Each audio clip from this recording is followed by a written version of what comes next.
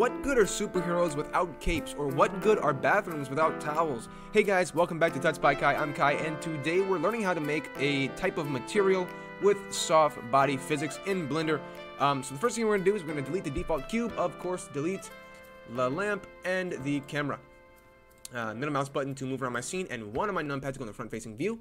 We're going to hit Shift A or we can go over here to create and add in a plane of a mesh. All right, so now we have our bad boy right there in the center of the canvas. Hit S to scale this up just a little bit, something like that maybe.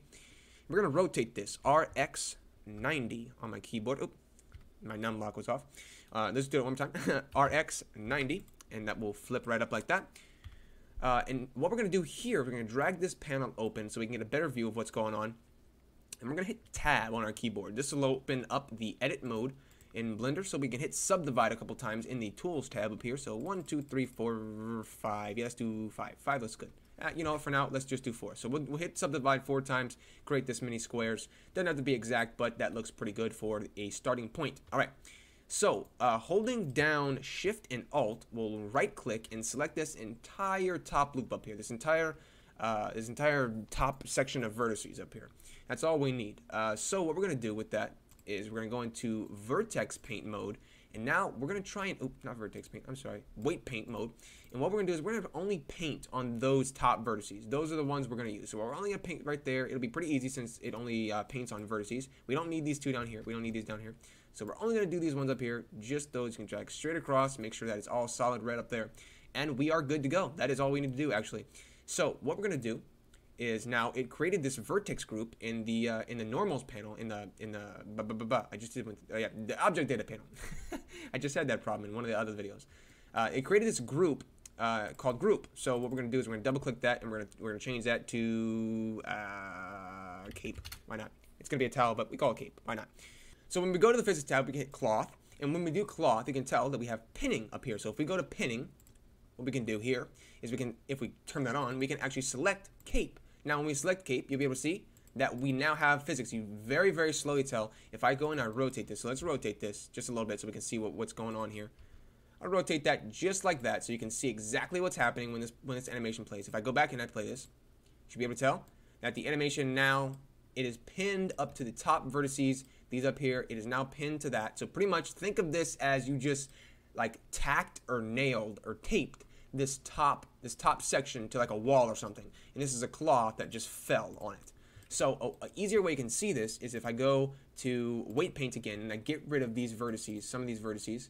So I, if I subtract a couple of these like we only leave the ones in the center you should be able to tell that when we go back to object mode and play you should be able to tell that the cloth only uh, the only the cloth only stays put like it's on a hook in that specific area. But this, isn't look, this doesn't look too good since it's kind of blocky. So the way we can fix that is we can go over to the modifiers tab over here and we can hit add modifier subdivision surface. And now, oop, I missed. I was triangulate. uh, subdivision surface. So that'll make it a bit smoother, as you can tell. So we can bump that up to like two or maybe three. Make sure you bump up the render as well. And you can smooth shading on over on the side. So that looks much better now, but it's doing this really weird ripple thing. The way we can fix this is if we go back into uh, weight painting want to make sure that all of these vertices are not selected over on the sides. I mean, we can actually redo this. Just oop, make that not play. All right, so we can add a couple. We'll add like one or so on the corners, just right there. So now it will only pin on the corners. So let's do that and play one more time. So now it pins on the corner, kind of like a towel, but the gravity is kind of messed up. So what we need to do is we need to go down here and uh, you can play around with a lot of these these uh, these steps down here in the damping. A lot of this damping is making it move faster or slower. The velocity is one of the things that's doing that. So if we turn it all the way down, you'll be able to tell that it's going very, very slow now. So if I turn it back up to 1, it goes much faster, just like how cloth moves. Um, but that's obviously, you know, it's continuously moving. So we need to turn the air up a little bit to make that stop a bit.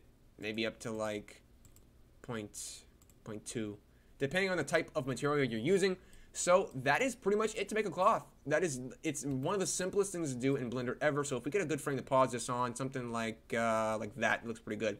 we can actually uh, keep this forever. We don't have to mess around with this at all. So if you want to just keep this, if you're making a still picture, an image instead of a animation, you can actually go to the modifiers tab, hit apply on that, and of course on the subdivision surface, and now we will forever have our cloth. We can move it around. We can actually go into edit mode and edit these vertices independently with the G key to move around. Super awesome stuff. Of course, like I said, if you want to animate that, you will need to use uh, the modifier and leave it the way it is. So there you have it, our cloth right there. It is swinging around perfectly. And now what we can do is we can render this. Like I said, uh, that is one of the simplest things you can do in Blender. It is one of the best. Um, and the way we can fix this really quickly, uh, we can fix it's colliding with itself a bit much right there. As you can tell if I scroll around, it's colliding and kind of intersecting with itself. So if we go to the cloth modifier right there and tick cloth collision and turn on self collision right there. Turn the quality up a little bit and the distance uh, up a little bit. We play this one more time, you'll be able to tell that the collision is gone now. It does not collide with itself. If we turn it back off, you should be able to tell. If I play this one more time, you'll see it, it will collide and intersect with itself right there. Looks a bit weird, so we can turn that back on and play it again. So that is it for the cloth tutorial. I hope you guys enjoyed this tutorial. I will see you guys in the next one, but until then, bye.